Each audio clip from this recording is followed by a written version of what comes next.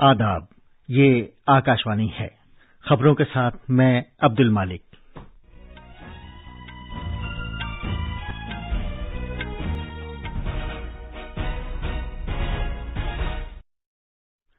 आज मुल्क भर में यौम आइन मनाया जा रहा है। सदर जमहूरिया रामनाथ कोविंद ने आइन का दीपाचा पढ़ने में वर्चुअल तरीके पर मुल्क की क्यादत की। वज़ीर अजम नरेंद्र मोदी इस वक्त सदर नशीनों की अस्सीवीं कुल हिंद कॉन्फ्रेंस के इख्तितामी इजलास से वर्चुअल तरीके पर खिताब कर रही हैं। वज़ीर अजम आज शाम को तवानाई के काबिल तजदीद जराये के आलमी सरमाकारों और नुमाइश का अफ्ताह करेंगे।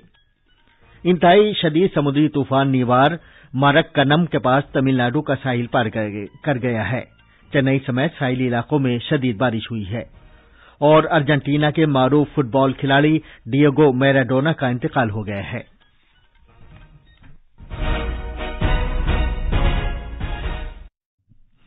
अब खबरें तफसील से।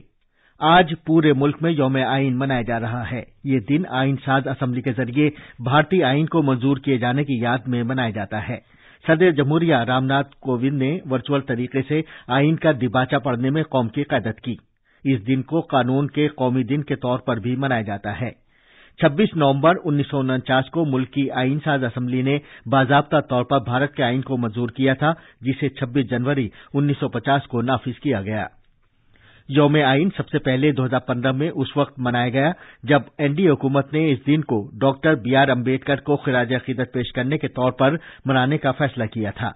डॉक्टर अंबेडकर ने ड्राफ्टिंग कमेटी के चेयरमैन की हैसियत से आइन को मुरतब करने में अहम किरदार अदा किया था। आइन साज असम्बली को तारीखी दस्तावेज़ का मुसविदा तैयार करने के गैर मामूली फरीजे को मुकम्मल करने में दो साल ग्यारह महीने और सत्रह दिन लगे।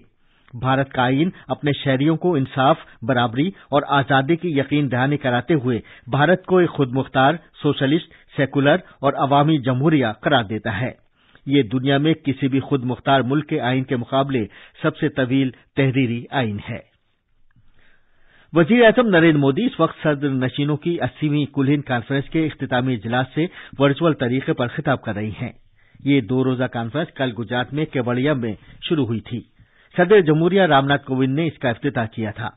कॉन्फ्रेंस में दूसरों के अलावा नायब सदर जमहूरिया और राज्यसभा के चेयरमैन एम वेंकैया नायडू, लोकसभा के स्पीकर ओम बिरला, गुजरात के गवर्नर आचार्य देवव्रत और रियासती वज़ीर आला विजय रूपानी शिरकत कर रहे हैं।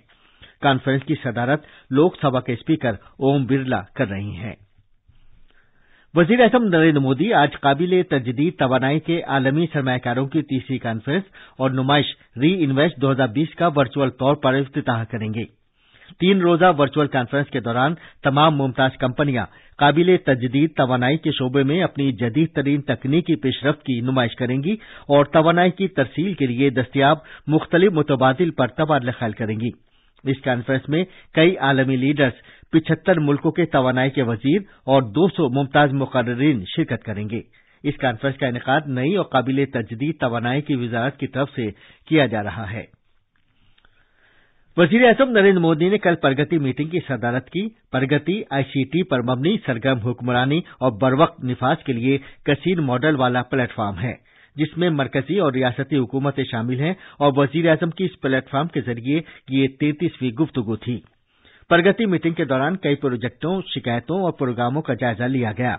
जिन प्रोजेक्टों का जायजा लिया गया, उनमें वजारत रेलवे, सड़क ट्रांसपोर्ट, शाहराहों की वजारत डीपी आईआईटी और बिजली की वजारत के प्रोजेक्ट शामिल हैं। ये प्रोजेक्ट, जिनकी कुल लागत एक लाख इकतालीस हज़ार करोड़ रुपए है ओडिशा महाराष्ट्र, कर्नाटक, उत्तर प्रदेश, जम्मू कश्मीर, गुजरात, हरियाणा, मध्य प्रदेश, राजस्थान, दादर और नगर हवेली समेत दस रियासतों और मरकज के जेर इंतज़ाम इलाकों से ताल्लुक रखते हैं। वज़ीर अजम ने मरकजी हुकूमत के मुतालिका सेक्रेटरियों और रियासती हुकूमतों के चीफ सेक्रेटरियों से कहा कि वो इस बात को यकीनी बनाएँ कि इन प्रोजेक्टों का काम वक्त से पहले मुकम्मल हो जाए। वज़ीर अजम नरेंद्र मोदी इतवार को दिन में ग्यारह बजे आकाशवाणी पर अपने मन की बात प्रोग्राम में मुल्क और बैरून मुल्क के लोगों के साथ अपने ख्याल का इजहार करेंगे। ये इकहत्तरवां महाना रेडियो प्रोग्राम होगा। इसे आकाशवाणी और दूरदर्शन के तमाम नेटवर्क पर नश्र किया जाएगा। लोग मन की बात प्रोग्राम के लिए Namo app my GOV forum और टोल फ्री नंबर एक आठ सिफर सिफर, एक एक सात आठ सिफर सिफर पर अपनी तजावीज भेज सकते हैं। ये खबरें आकाशवाणी से नष्र की जा रही हैं। इंताई शदीद समुद्री तूफ़ान निवार कल रात साहिल से टकरा गया है और आज सुबह तक इसकी शिद्दत जारी रही। ये तूफ़ान पुडुचेरी के नज़दीक तमिलनाडु में मरक्कनम के करीब साहिल से टकराया है। तूफ़ान के साहिल तक पहुँचने पर हवा की शिद्दत 120 से 130 किलोमीटर फ़ी घंटे की थी, जबकि हवा के झक्कड़ की रफ्तार 140 किलोमीटर फ़ी घंटा थी। इसके असर से चेन्नई समेत तमाम साहिली इलाकों में शदीद बारिश हुई है। कई दरियाओं और नदी नालों में भी पानी की सतह में इजाफा हो गया है। महकमा मौसमियात ने कहा है कि साहिल से टकराने के तकरीबन छह घंटे बाद ये तूफ़ान कमज़ोर पड़ने लगेगा। अलबत् इसके असर से होने वाली बारिश मजीद पंद्रह घंटे तक जारी रह सकती है। वज़ीर दाखिला अमित शाह ने कहा है कि मरकज, पुडुचेरी और तमिलनाडु में तूफ़ान के मद्देनजर हालात पर गहरी नज़र रखे हुए है।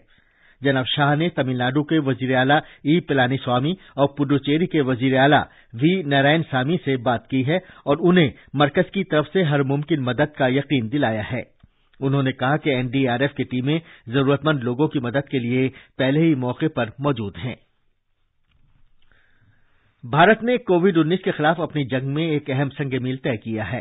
मुसलसल 19 दिन से रोज़ाना पचास हज़ार से भी कम केस सामने आ रहे हैं। गुजश्ता 24 घंटे में तकरीबन चवालीस हज़ार नए केसों का पता चला है, जबकि इसी दौरान छत्तीस हज़ार से ज़्यादा लोग शिफायाब हो चुके हैं। मजमूई तौर पर छियासी लाख उनासी हज़ार से ज़्यादा मरीजों के सेहतियाब होने के साथ ही शिफायाबी की कौमी शरह तिरानवे अशारिया छह छह फ़ीसद तक पहुँच गई है। मुल्क में सेहतियाब होने वालों की तादाद जेर इलाज मरीजों से लगभग बीस गुना हो गई है। गुजश्ता चौबीस घंटे के दौरान मुल्क में दस लाख नब्बे हज़ार से ज़्यादा कोविड नमूनों की जाँच की गई। इस तरह इन नमूनों की कुल तादाद तेरह करोड़ साठ लाख तक पहुँच गई है, जो एक अहम संग मील है। मरकजी सरकार और तिब्बी तहकीक की भारतीय काउंसिल आईसीएमआर ने जाँच के तौर तरीकों में इजाफा कर दिया है। अब भारत की जाँच करने की यौमिया सलाहियत पंद्रह लाख तक पहुँच गई है। वजारत सेहत का कहना है कि तादाद में नमूनों की जाँच किए जाने के नतीजे में मरीजों की जल्द शनाख्त, उन्हें अलग थलग किए जाने और कोविड के मौसर इलाज में ज़बरदस्त मदद मिली है और इस तरह शरह अमवात में भी कमी आई है। वज़ीर खारजा एस जयशंकर ने बहरीन का अपना दो रोजा दौरा मुकम्मल कर दिया है। इस दौरे में उन्होंने शहजादा सलमान बिन हम्माद अल खलीफा, वली अहद शहजादे, फौज के नायब सुप्रीम कमांडर और वज़ीर आज़म, शेख अली बिन खलीफा अल खलीफा से मुलाकात की। जनाब एस जयशंकर ने अपने हमनसब doctor Abdul Latif bin Rashid Al Zayani से भी तबादला ख्याल किया। इंतखाबी कमीशन ने आज बिहार में राज्यसभा की एक सीट के जिमनी चुनाव के लिए नोटिफिकेशन जारी किया। ये सीट लोक जनशक्ति पार्टी के बानी रामविलास पासवान के इंतकाल की वजह से खाली हुई है। उम्मीदवार तीन दिसंबर तक अपने कागजात नामजदगी दाखिल कर सकते हैं, जिनकी जाँच पड़ताल अगले रोज की जाएगी। पोलिंग और वोटों की गिनती चौदह दिसंबर को होगी। मवासलात की वजारत ने कहा है कि अगले साल पंद्रह जनवरी से लैंडलाइन फ़ोन से मोबाइल फ़ोन का नंबर मिलाने के लिए मतलूबा नंबर से पहले सिफर भी लगाना होगा। अलबत्ता लैंडलाइन से लैंडलाइन फ़ोन, मोबाइल से लैंडलाइन फ़ोन और मोबाइल से मोबाइल फ़ोन का नंबर मिलाने के मौजूदा तरीके में कोई रद्दोबदल नहीं किया गया है। अर्जेंटीना के मशहूर मारूफ फुटबॉल खिलाड़ी डियोगो मैराडोना का दिल का दौरा पड़ने से इंतकाल हो गया है। उनका शुमार दुनिया के अजीम फुटबॉल खिलाड़ियों में किया जाता है। उनकी उम्र साठ साल थी। नायब सदर जमूरिया एम वेंकैया नायडू और वज़ीर अजम नरेंद्र मोदी ने उनके इंतकाल पर सदमे का इजहार किया है। जनाब वेंकैया नायडू ने कहा कि वो एक नायाब खिलाड़ी थे और अपनी जादुई खेल से लाखों शायकीन को मशहूर कर दिया करते थे। वज़ीर अजम ने अपने पैगाम में कहा कि वो एक गैर मामूली मुमताज़ खिलाड़ी थे और अपने पूरे कैरियर में फुटबॉल के मैदान में उन्होंने बेहतरीन खेल का मुजाहरा किया। और आखिर में अहम खबरों की सुर्खियाँ एक बार फिर। आज मुल्क भर में यौम आइन मनाया जा रहा है। सदर जमहूरिया रामनाथ कोविंद ने आइन का दिबाचा पढ़ने में वर्चुअल तरीके पर मुल्क की क्यादत की। वज़ीर अजम आज शाम को तोानाई के काबिल तजदीद जराये के आलमी सरमाकारों और नुमाइश का अफ्ताह करेंगे। इंतई शदी समुद्री तूफ़ान निवार मरक्कनम के पास तमिलनाडु का साहिल पार कर गया है। और अर्जेंटीना के मारूफ फुटबॉल खिलाड़ी डिएगो मैराडोना का इंतकाल हो गया है। इसके साथ ही खबरों का यह बुलेटिन खत्म हुआ।